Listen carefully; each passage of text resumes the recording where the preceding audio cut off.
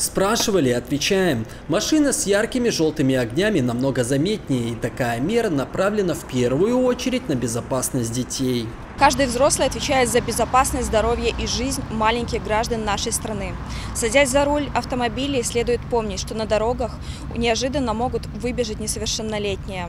Они же могут играть вблизи проезжей части и самой собой разумеется, что ребят много во дворах. Выходя из подъезда в дворовую территорию, дети зачастую забывают об элементарных правилах дорожного движения. Поэтому на этих участках, как и вблизи детских учреждений, пешеходных переходов от водителей требуется повышенная повышенная сконцентрированность. Положительно к подобным акциям относятся и сами автомобилисты, которые чаще всего и сами являются родителями. Поэтому они знают, что такое ответственность и почему так важно быть заметным на дороге. Важно, потому что даже сама иногда, когда еду, и есть такие машины, вот как света асфальта, и не всегда понимаю, что она едет. Поэтому однозначно важно, когда свет горит, ты понимаешь, что машина в движении, она заметна как минимум. Правильно, конечно. Дети это наше будущее надо оберегаться и самим, и детей. Конечно, заметнее, ради бога.